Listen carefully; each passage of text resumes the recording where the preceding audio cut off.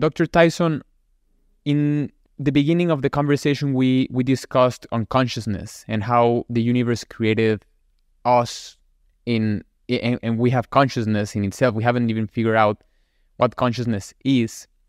But do you believe that us being conscious, you know, we, we're made of, of, of stardust, we, we're made of, of the galaxies, we're made of space. Do you feel, do, do you think it's enough evidence that there's other conscious beings out there, or perhaps the universe itself has some form of consciousness?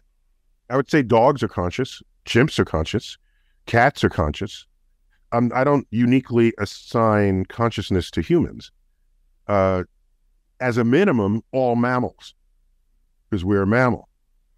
All right.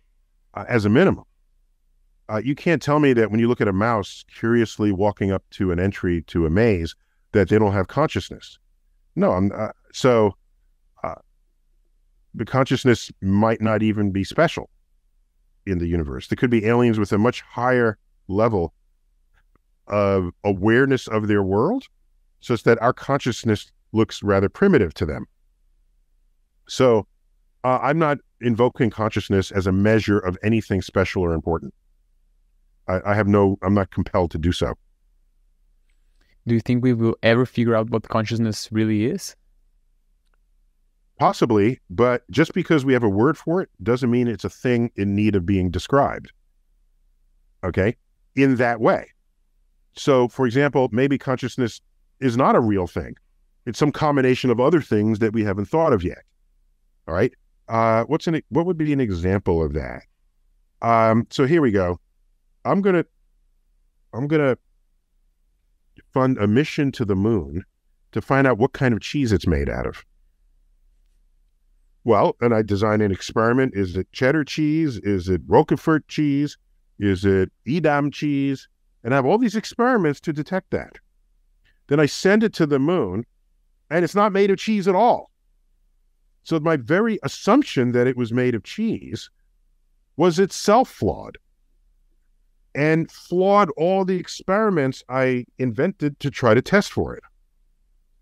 So, because we can't even agree on what consciousness is, for me, is evidence that maybe it does not exist as in any way that we want it to or think it should. I just would leave that option open because the history of science is one where if you think something is or should be a certain way, there's no obligation of nature to ensure that it is. Mm. So no, I'm not. I don't lose sleep over consciousness. When it, this is for me, for me personally, but in the future, let's say that we do find that consciousness is just not existent. We just defined it because we ourselves can perceive the perceiver. We can perceive that I am seeing you. I don't know, my body. Is... And just to be clear, I'm not declaring it doesn't exist. Right. What I'm suggesting is just because we have a word for it doesn't mean that word will yield to an explanation and an understanding that is based on objective reality. And it could be some other thing that we're knocking on the door of and don't even know yet. So I just would stay open to that. And the evidence, as you correctly said, that we know hardly anything about consciousness, evidence for that is that people keep writing books about it. Hmm there, there's no books written every day about Newtonian gravity. Hmm. We're done. The book is on the shelf. All right. So, quite the opposite of what people might think. For every new book written on consciousness, it's further evidence that we know nothing about it.